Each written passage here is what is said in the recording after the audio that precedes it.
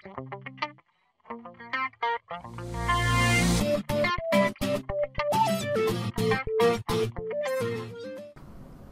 the m-Power hotline, we sometimes field calls from developers who are trying to compute values based on subtotal or grand total values within their reports. As you already know, m-Power report templates by default will always add values vertically to compute subtotal and grand total values. As you can see here, m-Power is computing these values simply by adding up all of the detailed values in this section to derive the subtotal value. However, when working with values that divide, including percentages, the typical method to det determine subtotal and grand total values will not apply. Once again, m-Power is adding up these values.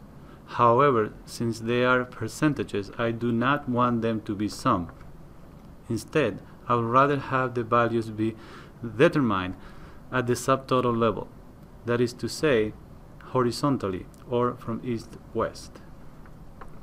To accomplish this, instead of creating my calculation in the m-Power interface, which will create the calculation at the detail level, I can use the total level calculation within m-Painter to achieve this.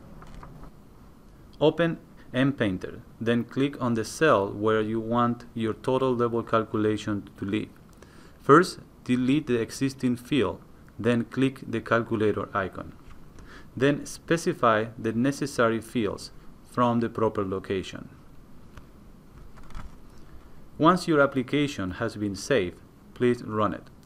Notice now that this value is no longer being determined based on the sum of the column, but instead is being computed from the values listed in the grand total level directly.